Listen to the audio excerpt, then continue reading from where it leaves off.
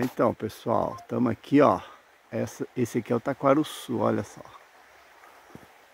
Uma muda que a gente plantou aqui, ó. E olha só. Tá indo muito bem, muito bem. Ó.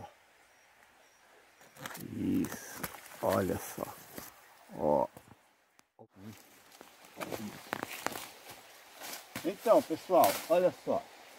Taquaruçu. A gente plantou uma muda, ó. Né? A diferença do taquaruçu é que ele tem espinho, olha só. Ó. Ó o espinho. Né? Então tem, tem espinho. Só que o gomo dele, olha só, um palmo, dois palmos, quase três. Vamos ver esse daqui, ó. Um palmo, dois palmos, ó. Esse deu três palmos. Então isso aqui para fazer peneira é uma maravilha. Né? Essa vara aqui está quase boa.